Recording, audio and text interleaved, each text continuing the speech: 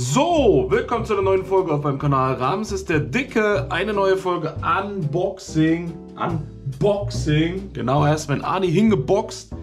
Ich habe wieder zwei Sachen da. Eigentlich habe ich vier Sachen da, aber ich will jetzt zwei auspacken. Das eine habe ich mir selber bestellt, glaube ich zumindest. Ich blick schon gar nicht mehr durch. Das stand im Hausflur. Und das andere ist das. Das sieht nicht so aus, als wäre das was Offizielles, sondern was Privates. Das ist nämlich vom vom NetGhost, glaube ich. Vom NetGhost. Und zufälligerweise habe ich gesehen vom iScorpions, also seinem Zwillingsbruder, habe ich auch noch was stehen. Was für ein Zufall, dass wenn was von dem einen kommt, von dem anderen auch. Der NetGhost hat ja letztens so ein, äh, ein Geburtstagspaket geschickt, glaube ich. Ich bin gar nicht mehr durch. Im Endeffekt ist das jetzt gar nicht vom NetGhost. Das ist dann plötzlich vom äh, es ist vom NetGhost. Wir sagen einfach, es ist vom NetGhost. Ich, wie gesagt, ich habe die Übersicht verloren. Der eine hat gesagt, hier, sorry wegen dem Bier, ich schicke dir Neues wegen dem Datum. Ich habe überhaupt gar nichts gemerkt. Habe ich vorgelesen, dass das Datum abgelaufen war? Kann das sein? Und jetzt wurde ein neues Bier, sollte nachgeschickt werden. Ich gucke jetzt einfach mal rein, um was es überhaupt geht, weil ich, wie gesagt, keine Übersicht mehr habe. So, es ist ein ständiges Hin und Her. Man ist kaum zu Hause, wenn man mal ankommt. Da muss man hier nebenbei alles schnell abarbeiten und machen. Irgendwie war was mit Bier. Dann hieß es wegen dem Datum, ich schicke nochmal Ersatzbier. Ich dachte, das war Netghost. Wir haben jetzt hier also Bier drin, weil das ja wahrscheinlich dann Sachen sind, die ihr eigentlich schon kennt. Habe ich gedacht, mache ich das jetzt schnell auf und zeige euch dann noch, was ich in dem anderen habe.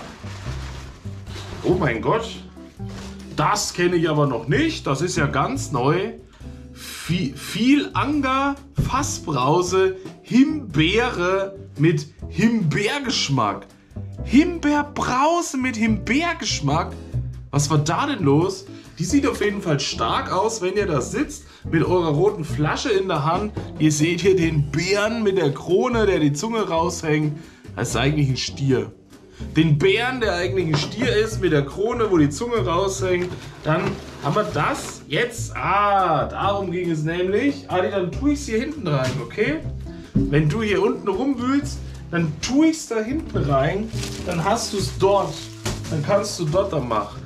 Ich glaube, darum ging es, genau. Um dieses Sternburg Hanfradler, was dabei war. Da war wohl das Datum, glaube ich, nicht mehr so richtig und deswegen ist das jetzt hier bis 5.23. Die anderen zwei Hanfradler, ich habe sie noch nicht getestet. Die stehen noch im Kühlschrank, gekühlt. Ich muss irgendwann mal dazu kommen und die dann mal testen. Mann, ist der bekloppt. Da ist das zweite Sternburg Hanfradler, also das wäre jetzt nicht so brutal gewesen, wenn die Leute sagen, langweilig, nur wegen so einer Himbeerbrause machst du hier ein Paket auf oder was? Aber guckt euch das an. Eine McDonalds Frisbee. Wir gucken ja immer Magus Gott und Magus Gott hat gesagt, es gibt jetzt eine McDonalds Frisbee und dann hat McDonalds Gott es vorgestellt und hat auch ein Testvideo dazu gemacht und dann haben wir gesagt, das ist aber lustig, Jetzt habe ich meine eigene McDonald's Frisbee. Da hätte man noch unterschreiben müssen. Hier iScorpions, hier NetGhost, die zwei Zwillingsbrüder. Das wäre genial. Und wenn die nicht funktioniert, wenn das nicht geht, dreh die einfach rum. Nehmt das hier als Teller. Ihr könnt ja auch Erbsensuppe, Linsensuppe reinmachen, Wiener Würstchen oder so könnt ihr draus essen, paar Tortilla-Chips rein. Das ist aber cool. Ich kriege immer mehr McDonalds Sachen geschickt. McDonalds Gläser, McDonalds Socken, McDonalds irgendwas. McDonalds Frisbees jetzt. Das auch hier hinter Ali. Tue das einfach mal alles zu dir. Und wenn er sich schon... Es riecht alles so... So, so, so parfümiert alles irgendwie ein bisschen. Oder ich habe keine Ahnung, was los ist schon wieder. Dankeschön auf jeden Fall für die McDonalds. Frisbee, das ist ja nicht Verbrauchsgut. Das, die Biere, die trinkst du aus, dann sind die weg und das war's. Die Frisbee, das ist ein Hingucker, den du dir für immer ins Regal stellen kannst. Der gleichzeitig auch mit Chill, mit Ramses zu tun hat. Für Montag, wer da in den Streams dabei ist. Das ist auf jeden Fall eine richtig coole Sache. Hier habe ich jetzt noch fix ein Paket, aber von mir. Ich habe in letzter Zeit selbst nämlich mal wieder was bestellt. Das möchte ich jetzt mal kurz hier aufmachen. Und dann habe ich noch eins von der Bow übrig draußen und ich habe noch eins vom iScorpions übrig. Da werde ich die aber in extra Videos machen. damit man das mit dem Titel auch besser machen kann, bevor man vier verschiedene Leute in den Titel schreibt, dass wirklich das ah, dem einen gewidmet ist, von dem es dann kommt und der Fokus ganz darauf liegt. Junge, das ging sonst immer so gut auf und jetzt, seitdem die Stimme weg ist, ist auch die Kraft weg, da geht nichts mehr. Wir machen das jetzt hier auf. Das müsste unser kleines Chili-Labor sein, wenn mich nicht alles täuscht. Ob der Film, den ich bestellt habe, schon ankam, weiß ich auch nicht. Vielleicht ist der da noch mit dabei. Ja, der Film ist dabei. Der Film ist nämlich hier. Da habe ich gesehen, ein Film von Michael Bay, der Produzent von The Purge und A Quiet Place.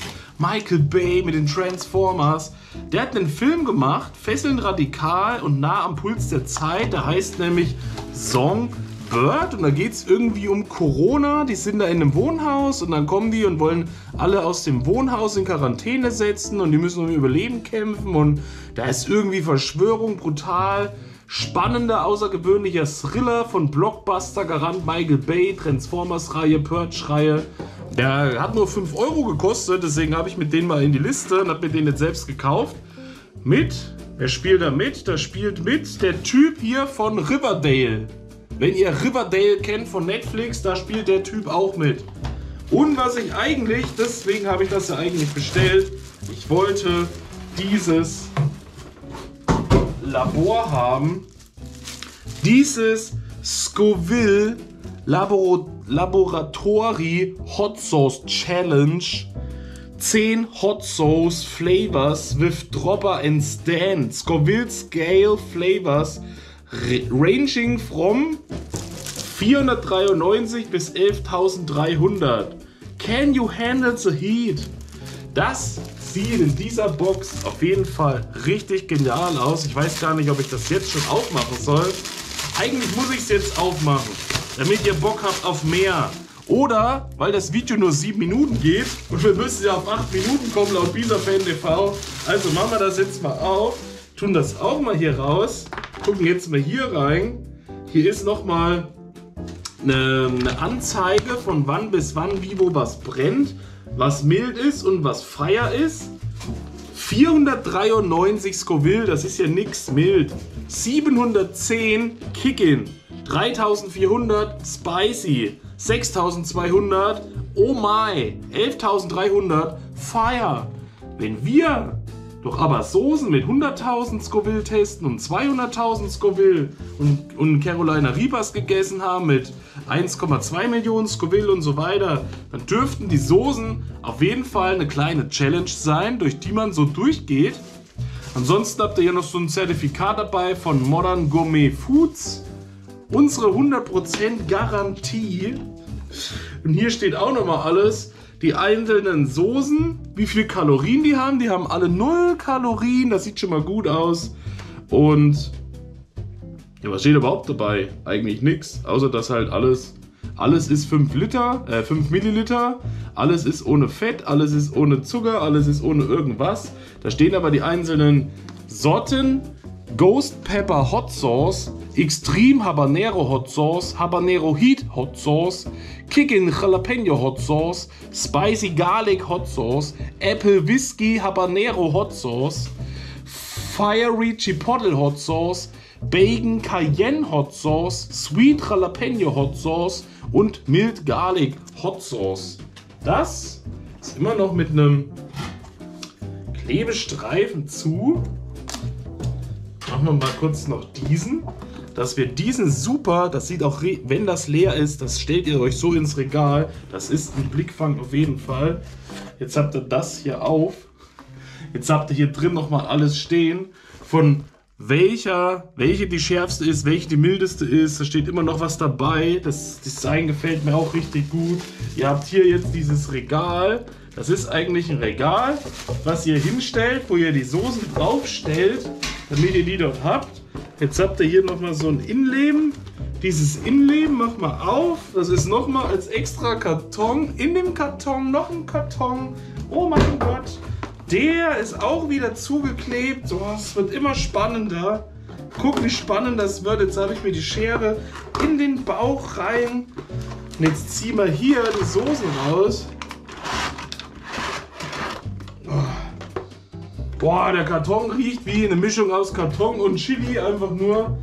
Das sind jetzt unsere Soßen.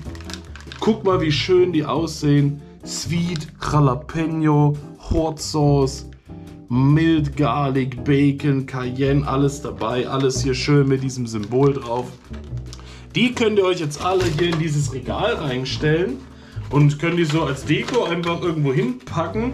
Ich tue sie jetzt aber wieder hier zurück. Ich baue mir das irgendwann mal auf und dazu folgt natürlich ein extra Video, wenn wir die, äh, die Chili Labor Challenge machen und diese Soßen durchtesten. Mal gucken vielleicht, wenn Hannes da ist, mal wieder. Oder wenn jemand sagt, ich würde das gerne mal mitmachen, Könnt ihr euch dazu melden, vielleicht auch. Vielleicht Hannes, der steckt das ja weg. Ich weiß, der steckt das besser weg als ich. Vielleicht mit ein paar Nuggets dazu, die Soßen durchtesten, Stück für Stück sich daran und dann mal gucken, wie weit man kommt. Oder mit Pupsi. Pupsi, das wäre auch interessant. Aber weiß ich nicht. Sehen wir dann, wenn es soweit ist. Dankeschön auf jeden Fall an NetGhost für diese super Scheibe, da kann ich die einzelnen Soßen nämlich jetzt reintröpfeln und dann daraus essen. Und ich finde das übelst genial vom Design her. Das gefällt mir richtig gut. Die Kartons muss ich auf jeden Fall unbedingt aufheben. Ich werde jetzt den Adi füttern und nachher nehme ich vielleicht noch die zwei anderen Unboxings auf. Das war es von meiner Seite aus. Wir sehen uns beim nächsten Mal. Bis dahin. Peace out. Vorhaut. Euer Ramses. Ich trinke die jetzt einfach. Ich habe so einen Durst jetzt, die einzelne Himbeerbrause zu testen. Das ist nix, aber die trinke ich jetzt einfach hier weg. Also, Peace out Vorhaut, euer Ramses.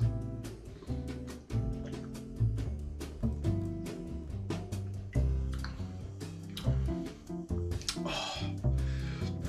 Man. Unsere Fassbrause ist eine Mecklenburger Spezialität, fruchtig, prickelnd und erfrischend. Die ist auch nicht so süß, die ist auch nicht so extrem schaumig. Die schmeckt richtig gut, richtig gut. Nicht so wie Sirup, richtig gut, ja. Dankeschön.